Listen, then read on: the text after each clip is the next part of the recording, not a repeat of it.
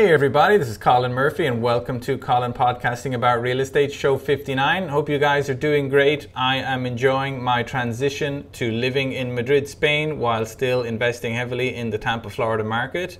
I'm recording this on August 31st, uh, 2021 and it's been a particularly hectic two months. Our furniture got shipped on the 1st of July. We, we left the US on the 4th of July, and it's it's been a chaotic couple of months getting settled ever since with uh, unpacking, getting kids organized in schools, buying cars, all the admin paperwork you got to do, getting settled in my nice new office.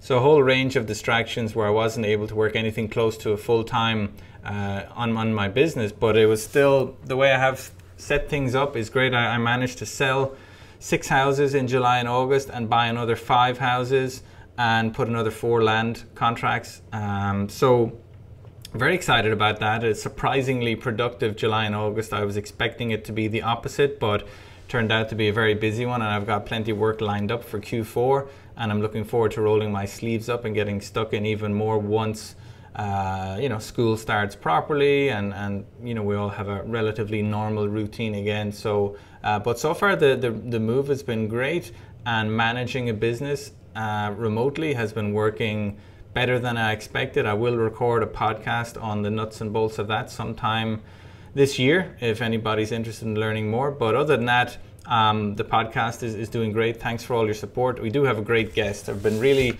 impressed with the caliber of guests on the show during the last few episodes, and today's is no exception. His name is Johnny Wolff, and he's the CEO and co founder of Homeroom Co Living. It's one of the fastest growing co living companies in the US. And if you're not familiar with the concept, co living is where you rent properties by the bedroom instead of by the house. So, for example, instead of renting a single family home for $1500 you rent each of the bedrooms for $600 each and you get you know generally correspondingly higher revenue but you have some of the pros of long-term lets in that they're long-term and they're stable but you have some of the higher revenue that you usually associate with short-term lets so it's a quite uh, an interesting hybrid that I think is poised for pretty strong growth in the coming years. And uh, Johnny is at the spear tip of it, and he's built a great business around it. Um, you know, we have a great chat about his early career in Silicon Valley, where he developed some of the necessary skills. His move to Texas, and you know how he experimented with the co-living model himself, buying several properties and renting them out by the room before setting up uh, a business and scaling a business, and, and we dig right into that and how it works and how they work with investors to expand and scale and create win win scenarios. Talk about the types of demographics who enjoy living with roommates, you know, typically millennials and General Zers. Talk about the property types, and surprisingly, it's not just your, your typical urban property, but there's high demand for this apparently in suburban places in, in the Midwest cities that Johnny and his team are active in and just dig into the numbers a little bit what types of returns you can expect average prices. So a very interesting investment niche. I'm, I'm certainly looking at studying it in more detail myself and i have a few friends that might be interested in learning more about it as well. So really enjoyed that show. And uh, yeah let me know what you think. Let's head on over and see what johnny has to say. Johnny Wolff how are you doing? And welcome to the show. Hey colin i'm doing great. Uh, glad to be here all right. Well, thanks for coming on. So tell us a bit about yourself. Where did you grow up? What was your first job? Sure. Yeah, I grew up in um, Northern California, uh, town outside of Sacramento called Roseville. Mm-hmm. Uh, my first job, um, I was a paper boy uh, for for four years, like junior high and high school. Nice. So I had to get up super early. Um, and I've given I've given up on doing that. So I, I got out of my system when I was young. Well, it's good that you had a work ethic as a young teenager. You know, there's probably not. I don't know how many do nowadays, but that's that's a good route to developing a work ethic. I guess not fun while you're doing it though. No, uh, yeah, it's uh, you know, getting up at getting up that early is is tough. It's tough. Um, but uh, yeah, I mean, there's you know, the money was nice when you're when you're like 11 and you have a few hundred dollars a month. It, it feels like you're a king. So yeah. So tell me, did you go straight into real estate in your 20s or did you have a different kind of career or life before that in a different industry? Yeah, I went straight in, um, you know, I I would was a fi- in finance in corporate finance in the Silicon Valley. So I worked in finance for technology companies, uh, some technology startups, and also in some uh, at banks. So in the background, I was investing out of state. You know, right after college, graduated in 2007. Bought my first property in Midland, Texas, which is Oil Town, Texas, Friday mm. Night Lights kind of area. Mm-hmm. Um, in 2008, bought another bought a property with a self-managed IRA a couple years later. Um, yeah, so that was sort of you know it wasn't really a core part of what I was doing uh, for the first 10 years of my career, which is really focused on on that finance career. That's pretty cool, though. Was that were you buying? that Was that at the top of the market or after the crash when you bought those first couple of rentals, or how did they work out? Yeah, the crash didn't affect Midland's a different, is a pretty strange um, economy, really based on oil prices. Mm-hmm. Um, and so when oil's high, it, it's almost it's almost disconnected from all of the.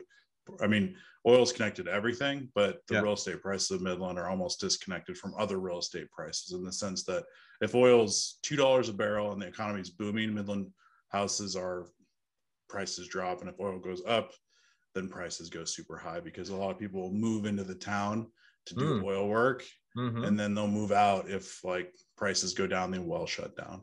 So okay. it's an interesting, interesting um, way to invest in real estate. Yeah. Um, it's not the most stable, but it was it was a cool way to start. Yeah, no, I love that you were wetting your feet in real estate a little bit while you had a you know relatively uh, you know normal day job working in finance for Silicon Valley, which also has its ups and downs, obviously. But where did, mm-hmm. when, and how did you transition full time into real estate? I read somewhere that you know you had a bad Craigslist experience that led to it. Yeah, I, you know, when you live in San Francisco, you live with roommates, even when you're like you're making one hundred fifty thousand dollars and you're thirty and you're a VP at a bank. It just no one can have. Very few people like you have to have a household income of three to four hundred thousand dollars per year to really buy your first house, or a tremendous amount of savings in that area. Mm-hmm. So even you know CPAs with masters in accounting, you know that was the girl I dated she lived with roommates. I lived with roommates. My roommate, my current one of my roommates was a software engineer at LinkedIn. So just that's how everyone you know really lives. Um, okay. In the Bay Area. So I um 2015, I kind of thought, you know, I don't know if I like this economic situation or being kind of like a forever tenant. So mm-hmm. I moved to Austin, Texas, and t- to uh, invest in real estate more actively. So I bought a number of properties starting in 2015 after I moved there um, turn them into roommate houses because that was the way that I had lived and the way I like to live. So I would live in the roommate house, then I'd go get another one, live in that one, and kind of over time I accumulated a number of them. I still hold most of those properties in Austin today. Um, and those I kind of see as like my first big real estate investments, but also my first foray into the roommate housing space. Although I had kind of lived in them, you know, for 10 years in San Francisco was the first time I'd actually set up the home and owned it and run it. I love that. So you're kind of house hacking in a way, like you, you get a loan for an owner occupier loan, but you rent mm-hmm. out the rooms. And then when you're eligible to get another owner occupier loan, you moved on to another one. Mm-hmm.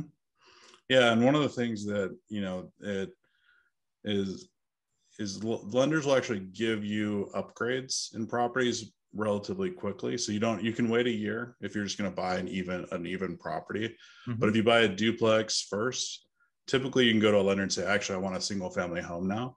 And they'll, they'll make you write a letter of why you want it. You don't have to lie. You can just say, I just want a single family home now. And they'll be like, cool.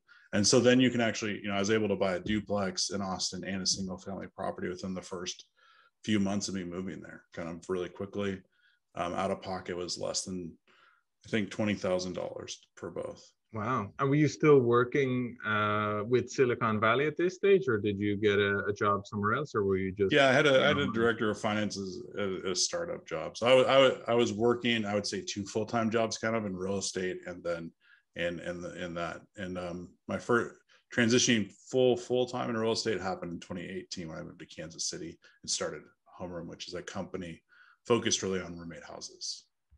I love that. So you were a roommate, and then you bought houses. So you're you're basically a, a, tenant in someone else's house, like most of San Francisco. Like you say, even people earning six-figure salaries, and then you move mm-hmm. to Texas, where you're able to buy some single families or small multi-families and build a kind of an investment portfolio that way, mm-hmm. gaining more knowledge. And then sounds like you pivoted again, using that knowledge to basically build a company in in that space.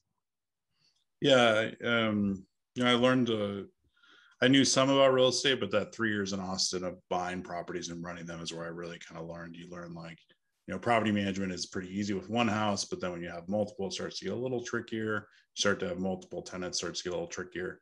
Mm-hmm. Um, so I learned real estate, and I kind of because I had that startup experience and that finance experience at some really uh, tremendous companies earlier in my career. Mm-hmm. I was able to kind of combine those two concepts when I created Homeroom and kind of when I moved to, in 2018. So I'm always fascinated by you know entrepreneurs setting up, uh, you know, trying to set up a disruptive business. I mean, what, tell me about the early days in, in that business. Did you need a lot of funding to get it up and running? What what was difficult, you know, about the first you know first year or so there? um yeah it was it was tremendously difficult um i sold one of my austin properties um and then pulled money out of my retirement to start the company so i didn't get any funding i self-funded it okay. for the a bit over about a year and a half um mm-hmm. but yeah the first you know the first you um until you've done it you don't really know what you're doing um so I, I just because i'd watched some really good entrepreneurs in the silicon valley but i mm-hmm. hadn't done it. I'd been the finance guy, um, which is you know you're pretty close to the CEO, and I was very I reported directly to the CEO in, mm-hmm. in one of the startups, but I still didn't really understand it. So the first um, the first year was tough. Not understanding it. If you knew everything in advance, you might not do it because it's so hard. Uh, that's that's very true. that's very true. The first year was pretty brutal. You know, I tried some interesting approaches. I tried to hire an army of Craigslisters to like you know, we do leasing in person for roommates and we try to rent master lease properties and we try to buy it. We bought all the furniture ourselves. Um, and then it, you know, it was really tough because we weren't growing as fast as I initially thought. Mm-hmm. I ended up mm-hmm. having to, we had these part-time people that I met on Craigslist that we kind of had like a little team. It was like all pretty exciting for about four months. Then we started to run out of capital. Yeah. Um, so I had to let most of them go and it was just down to me and like one operations manager. Mm-hmm. Um, so that was that was pretty tough but i mean we started to figure things out with less pe- piece of people less things moving. We started to get processes improved. Things started to work a lot better. Mm-hmm. uh, we started to fine tune things. And then about a year in you know, the operations manager got a dui and got he was gone. Like he, oh, he put it so we were down to just me. So you said what was the bad part of the first year? That was probably the all-time low. So it was just like down to me and like I had a couple contractors and we had hmm. 20 properties and 120 um, roommates. Wow. Um, and so we, you know, starting in early 2020, we just basically we started from like basically just me and kind of built a team over time. Today we're up to about 18 months later, we're up to 70 properties. We have a team of about 10. Mm-hmm. Um, some really awesome leaders in operations, um, sales, invest investor focus side. So definitely, um, you know quite a journey.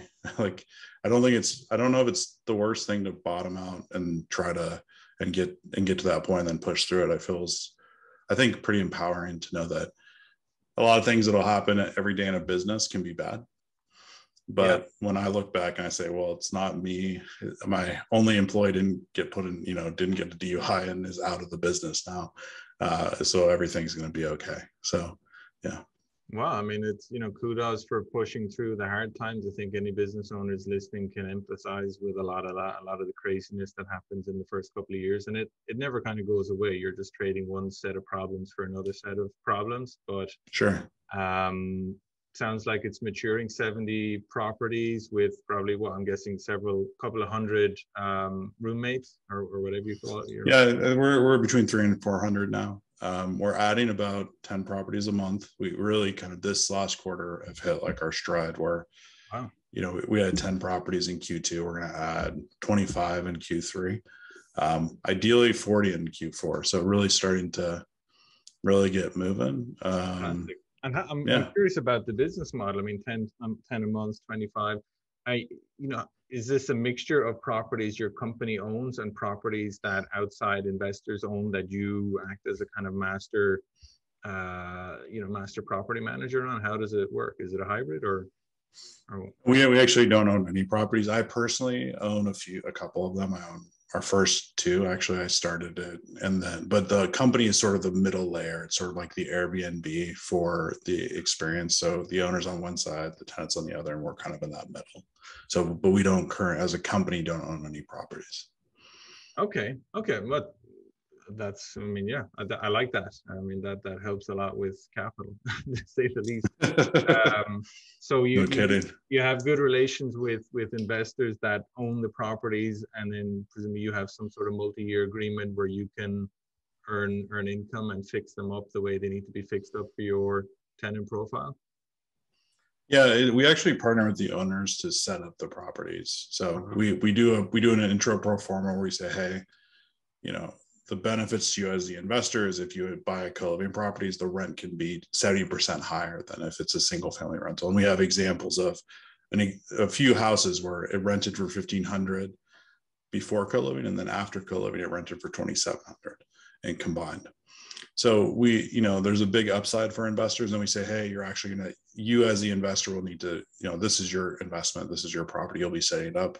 We'll help you furnish it we'll help you add bedrooms if that makes sense mm-hmm. um, and that will help you yield kind of this uh, way above market cash flow and cap rate so we're able to get pretty impressive returns in b neighborhoods um, with very you know limited occupancy um, our stabilized property occupancy is like in the mid 90 percentile. So fantastic. So is it kind of a, like a turnkey service mm-hmm. you provide to investors? You you source the property, you uh, you get it get it fixed up, and then you you, you manage the, the tenants. Yeah. It's pretty close to turnkey. We don't hold inventory. We actually help the investor find and buy the property, and then we uh-huh. would do the work for them. Although investors are allowed to like do it themselves. We have a guide. You can do it um, if you'd like. Um, but yeah, we have you know um, it's really for the passive investor looking for something that's a better asset level than like mm. a. C or C minus class kind of flip, um, and then also looking for kind of higher cash flow. Okay, that's very interesting. So it's it's sounds like you're getting some of the benefits of the short-term lets in terms of the gross income, but with less of those onerous overheads because you're not changing, mm. uh, you know, bed sheets every five days and all the rest of it. You're, you're there. Yeah, short short-term rentals. Yeah, have you done short-term rentals before? Or? Uh, I've dabbled in it and and I've yeah. seen the benefits, but not enough to stick at it. Yeah, I've, I've dabbled in it too. It's it's tough. we we like to say that if you think about the three ways of using a single family property, you have short term rentals, you have midterm, you have co living, which is us, then you have uh, standard rental. Is that a short term rental will have the highest possible yield income, mm-hmm. but it will have the lowest stability because seasonality plays into it. Pandemic hits, you might be hosed. There's other things. There's all this movement. There's also like massive amounts of people are cert- moving towards the short-term rental market. So prices, I we do I do think over time we're going to come down. Um, and then on the, the single family rental space, you have the lowest possible income, but middle stability. You know, it's not super stable, but there are big zero dollar months, but you can have nice periods of 12, 24, 36 months of not having to worry. With co living, we think it's the middle income wise but the highest stability because once you set up a co-living property, there's no zero dollar months at all. Um, it generally stay it go pretty quickly. It gets to the market average rent for a single family rental, mm-hmm. and then when it's max occupancy, it's above, and then it may drop on occasion to about the market rent, but that's the lowest you'll get.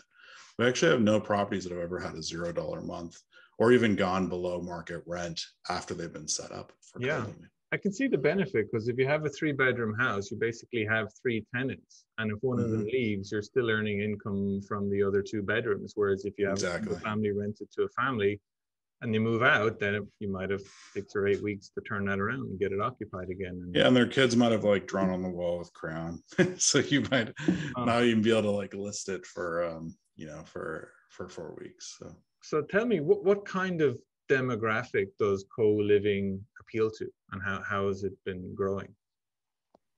Yeah our average age is 27 um, uh-huh. we skew slightly male. Young uh, white collar and blue collar you know professionals on the way up in their career. Um, you know everyone's budget conscious with housing but you know at that age especially it, it matters even more. Um, we also find that people in that age, they're sort of not, uh, the mar- marriage age has really been pushed much, much later. So it's like 35 now. So people don't really want to live alone for 15, you know, 15 years after college. It's not something that um, is as appealing as people think. A lot of people like the show Friends or the show New Girl because you have like a temporary family in your 20s and 30s, which is like your friends. And so that's a big draw to what our demographic likes as well. They're generally going to prefer community over privacy. So I would say community focused, budget focused, 20 to 40 year olds essentially. Interesting. And and so I, I guess yeah, th- these are like you mentioned, people postponing marriage, preferring to live with people. These are trends that are accelerating, right? This this isn't something that's that's fading. Um, like I said, yeah, there's getting there's like later a, just helps with that kind of business model. Yeah, it's um yeah, it's definitely it's getting more and more. It seems to be drawing further and further out. Um, and in addition to that, like the number of people out living with roommates since in 1981 was 11%, and today it's 26%. So hmm. the number of people living with roommates continues to be on the rise, and we, it's really a function of that phase of life kind of becoming bigger, right? Hmm. People, I think, living in an apartment by yourself for two years, you know, be 22 to 24, and then getting married and getting married, living with your significant other is fine, but I don't think people are as interested in doing that for 22 to 34. That's a long time to live in an apartment alone. Yeah, no, I, I can see what you mean. And so what, what kinds of properties are these? I mean, are they your typical urban properties, close walking distance to, you know, bars and restaurants and, you know, work buildings? I mean, or, or is there suburban demand for this type of stuff as well? Yeah, we see a, a lot of suburban demand. Actually, that's our primary focus. Is it? Is the suburbs because we find the mix of the price point for investors and the demand is still super strong is the the best fit for for an investor. So yeah, there's there's definitely a lot of roommate demand in the in like those hot spots, but um, there's there's the demand for roommate living is actually pretty even throughout the United States. You know, the 20 million are probably denser in the city center, but there it's also very dense everywhere. So we have, you know, we have houses that are pre-booked in Shawnee, Kansas, or Olathe, Kansas, or these outskirts cities in the Dallas Fort Worth metroplex so it's it's pretty um, it's pretty uniform the need for for roommate housing. Um, obviously, just like anything, it's more dense in the center of the city, but it's there's sufficient density anywhere above with a thousand or more people per square mile. Okay, and are there some markets in the U.S. or some states in the U.S. that you can't currently go into because you know renting by room is is prohibited eh, that you need to rent by house, or is that pretty open nowadays? Um, I don't. There's actually no markets that I'm aware of that don't allow room rentals. Um, okay. It depends on the city. Some cities de- cities define a family as a different amount of unrelated occupants, and so each city has like a different limit on that. Mm-hmm. Um, some cities actually don't even have that. And the state of Texas, for example, their max occupancy has nothing to do with if you're related by blood, and it's two people per bedroom um, is the max. So if you have a five bedroom house, you could theoretically have 10. A lot of cities have an additional law that says maximum unrelated occupancy is five, for example. That's what Fort Worth has. Okay. So those are things that we're aware of. Um, yeah. And so I guess this just occurred to me if you're renting out the rooms, does that mean that the property owner needs to buy the living room furniture and, and fit out the kitchen with appliances? Yep. Yes, we do. It's similar to setting up an Airbnb in that respect. Uh, we don't furnish bedrooms because our average stay is a year, and so people bring their own bedroom furniture.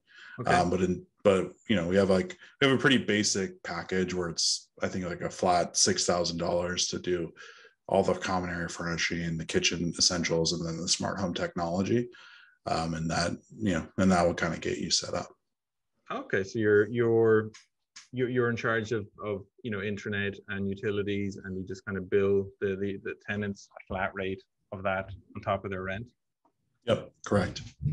Nice. Yep. yeah it does yeah. have a lot of the pros of airbnb without the cons because like you say they're they're generally renting it for what six months 12 months or, or, or longer?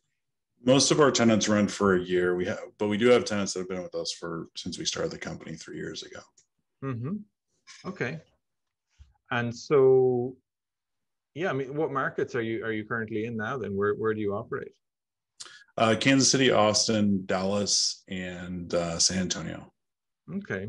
And we're looking for a fifth market right now. So, why if you have any recommendations, Colin, I'd love to hear them. Well, yeah, maybe. so, why did you choose the the Midwest? Is it because it's more affordable? Good, good rental yields? What's what's going on there? I mean, I was just I was in Kansas City um, when I started the company because I was you know looking to buy more properties for the roommate model I was using for myself, mm-hmm. and um, I found that it worked, and I, and I thought, hey, a lot of investors, as long as I've been on BiggerPockets, everyone's like kind of wanted to invest in Kansas City. So maybe mm-hmm. there's a way that we can kind of create an opportunity for investors elsewhere to do this. So that's kind of just we just started in Kansas City because I was here. Um, and then we've expanded since then. We've been, you know, you're trying to balance a couple things: the demographics of the cities and the growth, um, mm. and then also the the price point for investors to purchase. Okay, and so what what is your your typical price point? I mean, like you say, these aren't your, you know, when people think of Midwest rentals, they often think of kind of C quality rentals, maybe a multifamily rented out for like 600 a door or something. You, you seem to be with these you know they're higher level they're you know they're kitted out with with internet and and keyless door entries and nice furniture. I mean what what what kind of price levels are you, are you talking about? Uh usually 250 to 300 is kind of the the range. Okay so for $300000 what kind of gross income would you expect once it's operational? Something around you know um, about 3000 yeah. okay so 3000 a month you're kind of hitting that one that mythical 1% rule um, to get that which which is great in 2021 because certainly in market i know best tampa florida you weren't really getting the 1% rule since 2017 you know? Um, so no, it's not it's, it, like, it's not a great rule anymore unless you just don't want to buy property anymore. Yeah. So but I like that if you're getting something, and then presumably these are properties that are, like you say, they're fully renovated to to reasonably high level. Are they typically older buildings? Is it a, a mix of, of properties? Midwest got a lot of older stuff, uh, you know, built in the mm. early 1900s, mid 1900s, or, or is it all? What do you see? Depends on the pro the, the city you buy in. Um, if you buy in, if you buy in that, do you have DFW. Um, mm-hmm. We generally don't. We generally tell investors like if you if you want um, the highest returns buying something, we generally are targeting things built in the 60s and 70s, but not specifically because they're built in the 60s and 70s. They just end up the price point. It kind of ends up being the right overlap. Mm-hmm. We have investors that are really interested in newer builds. Um, it's I think there's definitely opportunities for rent to own or built to rent kind of options but if if you're not doing it right you can you can lose a lot of returns when you buy a newer build. It's going to be more expensive. A lot of times they'll have an hoa fee which homer actually doesn't do hoa uh, neighborhoods. Right. Um, and so we generally say hey you know you're probably going to make more if you buy something built in the 80s than if you buy something built in 2011 you're going to pay a big premium for that newer build and mm-hmm. um, there's frankly just like not any of them out there. So um, it's hard to it's hard for me to justify it knowing like the average repair bill we have for like a, a property built in the 70s, mm-hmm. which is frankly not very high. I just can't see how people can make more money by owning a newer property. And I've owned brand new properties. I've owned properties five years old. I mean, mm-hmm. what, what's your? I'm actually curious your thoughts on that. Like, I are mean, you a big new build guy, or do you prefer? No, I'm not. I mean, or you know, and I own some newer stuff, but for me, everything like kitchens, bathrooms, floors, ACs, roofs, they all depreciate at the same speed, whether your property was built in 2015 or, or 1970. You know, I built a 1970 sure. house, put in a new kitchen, bathroom, roof, it'll depreciate at exactly the same speed as as a brand new home. I mean, obviously, if you get really old properties, you might be talking about, you know, plumbing, weird, structuring. Yeah, weird, weird plumbing, tube and knob electrical. Yeah. yeah. But if you kind of avoid that, like you mentioned, that sweet spot of building, you know, buying stuff that was built in the 70s and 80s, uh, the structure of the house, you know, the plumbing, electric, uh, you know, flooring, uh, structure, the walls is generally okay. Then everything else, like you say, you mm-hmm. pay a huge premium for a new build and you, and you don't get it back in uh, in income. Really, uh, you might pay forty percent more to buy the house and get twenty percent more in rent. Slightly lower insurance bill. Um, but yeah, the yeah, the numbers don't really pencil, and I, I, feel like a lot of times when we talk to investors, it's like unraveling. Like, I a lot of investors, uh, in our experience, feel like I think they think of a house kind of like a car, which a car inevitably goes down to being worth zero at a certain point, just like is not. You can't yeah. even get. You have to pay someone to take it. yeah. You know, at a certain point, like even like the charities won't take your car because it's worth so little. Um, but a but a house has there's some you know 100 year useful life. It, I do think you know a property that's 40 to 60 years old when you start to get into the 20s and 30 you know older than the 1920s things start to get you're right pretty weird um, you definitely want to avoid if you can avoid cast iron plumbing that's always a nice thing to do um, yeah. for sure but um, yeah i just we've done the numbers over and over again and it's just buying stuff in the 60s 70s 80s is better returns right? Mm-hmm. and you can the resale value in 15 years now the properties are kind of the exact very close in price. Mm-hmm. you almost accelerate. The appreciation almost is nullified by a newer build in a way because it's not going to be new in 15 years. Okay. And are you so is your company responsible for managing the maintenance of all these properties when there's leaky faucets and ACs and you know windows that don't work properly or whatever is that you you guys are sending yeah. to fix all that and just adding it to mm-hmm. the owner's monthly yeah we just we just take it out of rent every month we don't really make we don't make any money on that it's like kind of a break even thing but mm-hmm. um yeah it's not it's not a tremendous expense for our owners okay and so what's what's your fee of the you know a three thousand dollar a month rental what do you take for for managing you know the the tenants in those bedrooms yeah, we have two different options. We have a guaranteed rent option, so you can sign for that. We'll give you a rent guarantee, and no matter what the vacancy is, you'll you'll receive your rent. That's that'll be about seventy percent of the max occupancy. So you get twenty one hundred rent guaranteed. Mm-hmm. Um, so we have is that the max you get as well? It's just that's the flat. It just it's three years locked in, doesn't go up, it doesn't move. We have another option where it's 15%. Well, it's an 85 15 revenue share. You get 85% of the rent that we collect that actually goes up with increases in rent and goes down with vacancy. Mm-hmm. Um, on average, people that most people choose that option and because they, they make more money because our occupancy is substantially higher than five percent. What about your placement fee if somebody vacates a room and you have to place a new person in the room to charge for that? We don't we don't charge a placement fee, so it's just part of the the yeah. Okay, that's great. And so if I buy a house, um, how long would it generally take for your you know, if I wanted to use your services to, to fix it up and put the living room furniture and the internet and keyless entry, how long would that generally take to do? And then how long would it take to have it, you know, all the rooms rented? Yeah, it's very it's very house by house basis. We also build bedrooms, right? So we have like an extra den or areas that mm. you know a finished basement with a door, and we'll we'll build out extra rooms.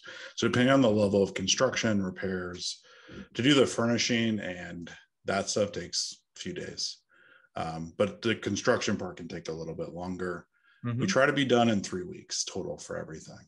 Okay. Including a Matterport and turn it to turn uh, deep clean. You know, everything's looking ready to go. Um, sometimes it'll go a bit longer though if we're going to build. If sometimes we'll cut out an egress window for a basement to have an extra bedroom, and sure. that can that, that kind of stuff takes a bit longer. So. Okay. And then what about like t- is tenant placement pretty similar to a house, like three four weeks to you know have it fully occupied or well maybe pretty pretty close. We try to do one to two tenants per week uh, once the property's ready to go. And okay. we're, we're we work on pre-leasing. It's just a lot harder with a with a property under construction without like a 3d tour and furniture. Like the it just the leasing gets much easier after that stuff's ready. So. okay.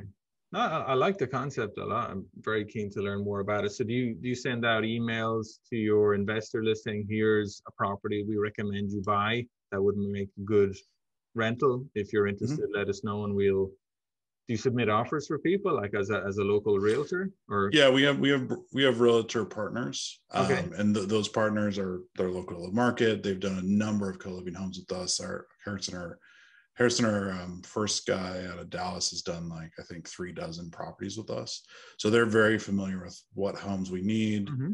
what we're targeting we want you know the right layout we want enough parking all this stuff he so he'll he'll submit offers on your behalf but also kind of like walk you through like since he's seen a lot of these purchases how to think about it mm. um yeah so that's you know so you have a partner there we also have an in-house sales team at homeroom uh, peter is our you know our director of real estate investments he'll kind of be there throughout the process of purchasing our construction team will actually look at your inspection report and give you like a quick video synopsis of what they see, mm-hmm. let you know if, if it's safe to move forward. And then you can ask our construction team if they have any, if you have any other questions. Um, and then on day one, once the property's closed, we kind of get started. We were, we're building a project plan in the background before the property's purchased. Yeah, this so. is great. So, so aside from local realtors keeping a close eye on the MLS for properties that match your criteria, Mm-hmm. Are there other ways you source properties? Do you do you like target wholesalers or target motivated sellers or do auctions, anything like that? No, we haven't. We've we've pretty much. Ex- I mean, we have some off off market deals that we stumble across in the markets we're in, mm-hmm. but we currently don't have any off market like deal sourcing kind of strategy in place. Mm. I mean, the, the, good thing about your model is with with the income you generate, you can afford to buy something off the MLS at market rate, right? That's kind of the, the beauty of it yeah uh, we're, we're adding value to kind of the normal deal so then it becomes a great deal versus trying to find a great deal.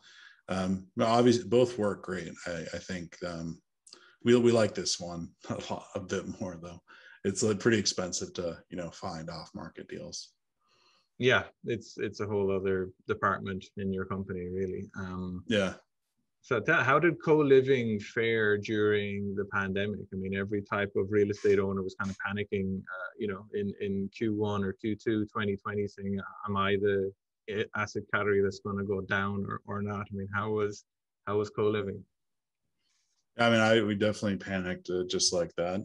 so it was a dark, it was a dark, you know, dark, uh, the beginning was, I think the hardest uh, mm-hmm. mentally uh, yeah. for most people. Um, yeah, we we did we actually did well though. Um, we had put in place a remote leasing, which meant we did video calls with tenants. Okay. Uh, we had the smart locks on the doors, and we had virtual tours. So we would actually we didn't actually go in person to do leasing.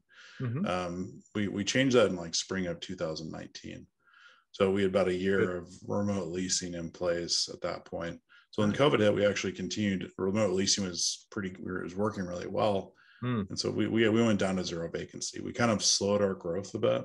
Sure. And we just like had a waiting list and we built a COVID protocol first two or three months. And then after that, we said, oh, it seems like, you know, this, we should keep moving this forward. So we started to grow again. So, and mm-hmm. we started to grow in Kansas City. We um, expanded Dallas in September of 2020 um, very successfully. And and then Austin and and just uh, two months ago. So mm-hmm. yeah, it's been um, some co-living companies did struggle tremendously. A couple went out of business. Mm. Um, a couple lost a lot of money. We we actually we did better. Um, you know, some of it's luck, some of it's just kind of we had put processes in place that happened to be really helpful in that situation. Yeah. Well, and I guess some of the, your competitors might actually own that, and might be highly leveraged, and might have high you know loan repayments every month whereas like I say if, if your occupancy dips it's not necessarily catastrophic for you. I mean you just work hard to get them full again but you're not on the hook for tens of thousands of dollars of mortgage payments every month. Yeah. No no it's it's nice to to be asset light for sure. Mm-hmm. and and so what's what's your you know what's what's your kind of future plans expanding? Is is you how how big do you want to grow this in the next couple of years? Are you still planning to to stay asset light and just become as like airbnb just become as big as possible in terms of your number of doors on your platform and the numbers of properties you manage? Yeah we'd like to go we like to go nationwide um, uh, hopefully expand further than that uh, you know north america and then global would be you know definitely in something we're looking at uh, very very long term. Um, but yeah, that's um, you know we have to kind of get into our fifth market before we really start you know thinking about that stuff. Yeah, well, it sounds like you're building some great momentum. And uh, I haven't asked this question in a couple episodes, but what's what's your take on on the current real estate market? Are you you see prices and, and demand continuing to rise, like for example in, in 2022 and beyond, or are you being more choosy about which markets you're you're encouraging investors to buy in now? Um, yeah, I think you know one of the things we like to show investors a chart of Kansas City real estate, and it's actually only gone down for one period in like the history of the last 50 years, and that was between 2017 and two, or sorry, 2007 2009. Mm-hmm. It went down 10 percent. Okay. But then 48 year, the other 48 years during the dot com, all these other recessions, like real estate may have gone flat, but it didn't go down. Mm-hmm. So I think there's a little bit of a some recency bias that people think like, well, the real estate market's like the stock market because we just had a big crash in 2007. I, it's historically that's not the way real estate behaves, and it just mm-hmm. has almost never behaved like the stock market. It seems to slow down its growth. Um, it may go down two percent, three percent, but it doesn't. We don't see crashes. We don't see erratic behavior like that. So um, I'm a pretty firm believer that you buy great assets in great cities, and over time, it it it, it um, will perform. And I feel that way about the stock market. But I feel about, I, but the stock market, there is a temptation to time it because it does go up and down with regularity on a daily basis. With real estate, it just doesn't. Like so, if you buy today, it'll be cheaper to buy a property than if you buy it in a year, and then if you buy it in five years, cheaper than if you buy it in five years. Um, so I highly recommend people buy as soon as they can because I don't. The the wor- the worst case scenario is that it goes flat for 18 months, you know, mm. at some point. But it's not gonna. You're still gonna be protected from it, you know, and, and you're you're gonna be in a good asset. Um, but I don't I don't see any kind of risk, you know, price decreases on the horizon, yeah. especially in the, the middle of America. But yeah, I was going to say that, especially in the Midwest, has traditionally been a, you know very much a stable, slow, steady market that doesn't have the same volatility as a Florida or a Nevada or a California, where you have had multiple ups and downs in the last 40 years. Yeah, I mean Las Vegas is like a little different, right? Las Vegas is a little wild, Midland is a little wild, but I guess Austin hasn't gone down in 35 years, right? Mm-hmm. So um I, I there's no if you buy something yeah. in Austin, a co-living uh, house in Austin or Kansas City or somewhere like that, where, where the numbers make sense on day one, and your plan is to own it long term, there's not much point in losing any any sleep over whatever volatility, which is probably going to be low, uh, comes your way. I mean, if you own it long enough, you got yeah. your reserves in place, you got a good good manager looking after it. Um, your your your chances are you're going to be much better off than if you'd have just done nothing with that money. You know. Agreed. I mean, and and to your point, there are there are definitely volatile markets out there um, that have questionable, um, you know, job data growth, you know, population growth data. I mean, Las Vegas is like the quintessential. It's just, and so, uh, you know, the underlying economics of the, the city are just very, I think, a little shaky. And so mm-hmm. you just see these wild swings that basically are just consumer investor driven and if it's an investor driven asset, it's going to have the volatility. But if it's a an owner driven asset, which is most of the Midwest property, there's not enough investor density to cause volatility. So yeah, and especially to have that diverse employment base, they're not dependent on you know hotels or conventions or casinos. you've got a very diverse white collar, blue collar, local mm-hmm. economy mm-hmm. where no one sector is probably above 12%. So that provides Tampa, Florida's got that benefit as well and that mm-hmm. is, is generally you know stress-free way to own real estate long term is to buy in those places that aren't too dependent on any one sector especially an investor driven one or a tourism driven one because that stuff is more fickle 100% okay but I, I, gotta say i love i love your business model i know some people that would be interested in in learning more about it it does seem genuinely more passive and more profitable than owning a regular single family home or, or multi-family home. So I think it's, yeah, I'm impressed with your growth. You know, kudos to you. And um, Thanks, if somebody wants to to learn more about your business or about you personally, Johnny, how do they how do they find it? Yeah, so you can find us at livehomeroom.com and my email is johnny at livehomeroom. happy to answer any questions about roommate housing or co-living or house hacking um, or starting a company in the mm-hmm. midwest and any of that stuff any of those things. So yeah but thanks so much for having me colin. Really appreciate it. No it's been a pleasure. Thanks again for your time and uh, good good luck with the future. Look forward to seeing how you keep growing. Thanks man. Yeah all right you take care bye take care see you so there you have it, folks. That was Johnny Wolff, CEO and founder of Homeroom Co-Living. I hope you enjoyed that interview. I think that's a fascinating concept that is sure to be growing a lot in the coming years. I love the idea of renting a house per room to maximize revenue, especially if you have a dedicated technology savvy specialist who can kind of manage that kind of turnkey process for you. You know, I've never been a big fan of, of managing Airbnbs or anything like that just because of the amount of, of resources and work and the fickleness of the revenue. But I do really like the idea of, of, of, buying properties and then renting them out per room. Like if one room is vacant for a month or so, you still have all the other rooms generating revenue, a little bit like a you know a triplex or a duplex, I guess. So I like the concept a lot. Um, I'm going to dig into those numbers in, in, in more detail, uh, but I suspect uh, strongly that that's the real deal and, and you can earn some very good passive income in, in these Midwest cities. These are all cities that I already liked. I'm already investing in some of these cities myself. I own rentals in, in Midwest cities, so I'm, I'm a fan of that already. So I have no problem, uh, you know, dabbling in a little bit of co co-living uh, properties as well. And uh, yeah, gotta you gotta take your hat off to anybody that builds a new business that you know disrupts a particular market or, or, or tries to exploit a new niche. It's so much more difficult than just buying and selling a house. I mean, what I do is relatively straightforward buy a house, get kitchens and floors and roofs fixed up, sell it on to a local family or, or keep it as a rental. It's, it's, it's pretty straightforward, but kind of setting up a business with a team of people and, and, and growing it and, and getting customers, getting your buyers and your sellers and managing your processes, it's, it's a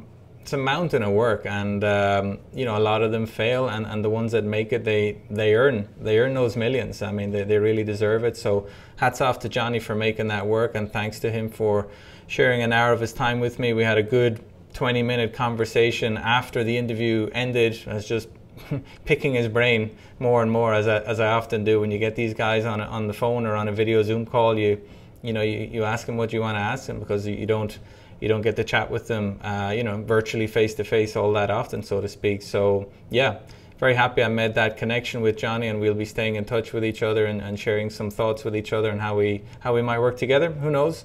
But uh, yeah, thanks for tuning in. I hope you're enjoying these guests. Please do leave me a rating or a review if you haven't done so. Uh, if you see some of these episodes on your social media, I'd be very grateful if you could share that with your own friends. Uh, if you think they might like it, that's a great way of getting the word, word out there. And uh, yeah, I'll be back soon with uh, show 60. But until then, this is Colin G. Murphy signing out. Thanks again, guys. Bye bye.